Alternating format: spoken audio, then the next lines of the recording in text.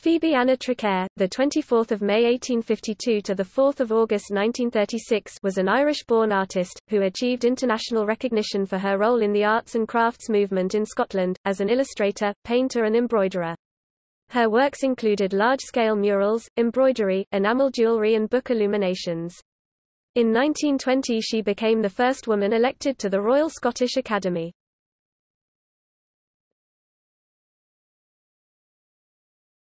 Topic: Family life.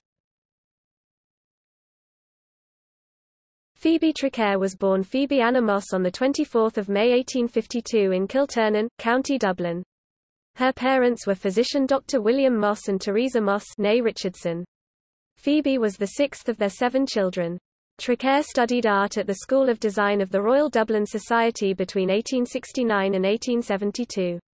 She married the Scottish paleontologist Ramsay Heatley Traquair on 5 June 1873. The couple moved to Colinton Farm in the southwest of Edinburgh in spring 1874. Some of her work was paleontological drawings related to her husband's research on fossil fish, and these drawings are held in the special library collections of National Museum Scotland.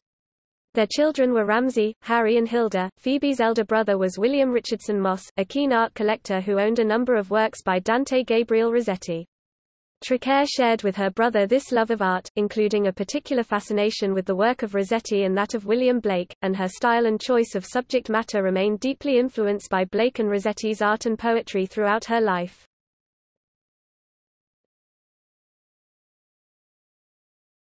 Topic: Career During the late 1870s Traquair continued to develop her art, working mostly on embroidered domestic textiles.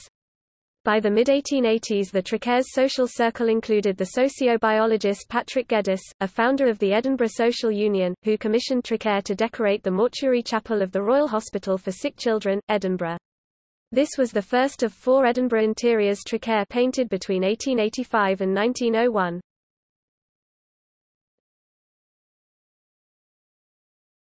Topic: Royal Hospital for Sick Children.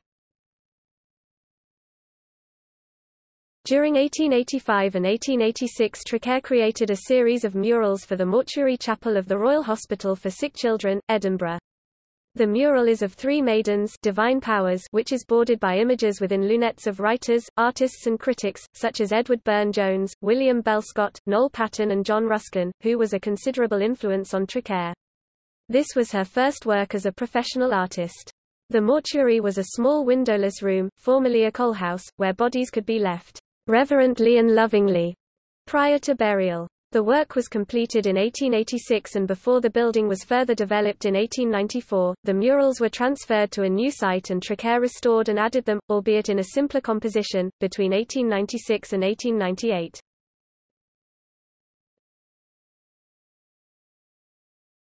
Topic: St Mary's Cathedral. Her murals of the Song School of St Mary's Cathedral (1888–92) won Traquair national recognition. Within a tunnel-vaulted interior, the east wall depicts the cathedral clergy and choir. The south wall depicts Traquair's admired contemporaries such as Dante Gabriel Rossetti, William Holman Hunt, and George Frederick Watts. On the north wall birds and choristers sing together, and the west wall shows the four beasts singing the Sanctus. The song school is still used daily for practice by the choristers.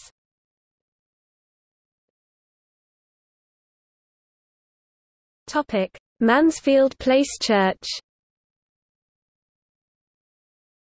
Traquair's best-known work is in the vast former Catholic Apostolic Church 1893 on Mansfield Place now called the Mansfield Traquair Centre at the foot of Broughton Street, which has been called Edinburgh's Sistine Chapel and a jewelled crown. It was this work which helped to confirm her international recognition.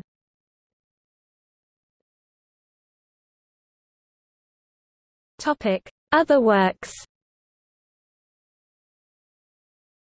A notable work by Traquair can be viewed in the Thistle Chapel of St Giles Cathedral where she designed the earliest enamel armorial panels over the knights' seats.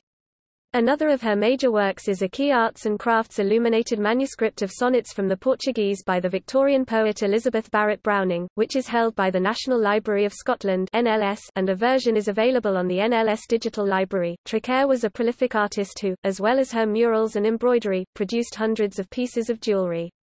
She was invited to exhibit at the World's Fair in Chicago in 1893 and her four silk-embroidered panels The Progress of the Soul were displayed in St. Louis in 1904. That year she returned to mural painting with a work for the chancel of the St. Peter's Church at Clayworth in Nottinghamshire. Her final mural was completed for the Manners family chapel at Thorney Hill in the New Forest between 1920 and 1922. A large number of other works by Traquair, including, enamels, illuminated manuscripts of Rossetti's sonnet sequence Willowwood, a piano with a case made by Traquair's friend and artistic collaborator Robert Lorimer and painted with scenes from Willowwood, the biblical Song of Songs, and the story of Psyche and Pan, a triptych of embroideries based on the story of the Red Cross Knight from Edmund Spenser's Faerie Queene, are on display at National Museum Scotland in Edinburgh. At Kellie Castle in Fife in 1897, Traquair completed the painted panel above the fireplace in the castle's drawing room. The painting is based on Botticelli's Primavera and was completed when John Henry Lorimer occupied the castle. However the painting was covered over in the late 1940s but was restored in 1996 by the National Trust for Scotland.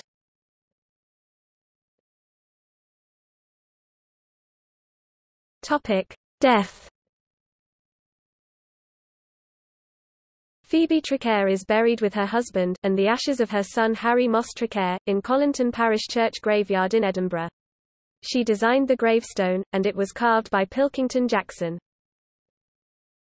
Topic works Illustrations John Sutherland Black 1890. Dante Illustrations and Notes. Phoebe A. Traquair, Illustrator. Edinburgh, T&A Constable private printer. OCLC 805029900. Dante Gabriel Rossetti 1904. The House of Life. Phoebe A. Traquair, illustrator. Edinburgh, William J. Hay,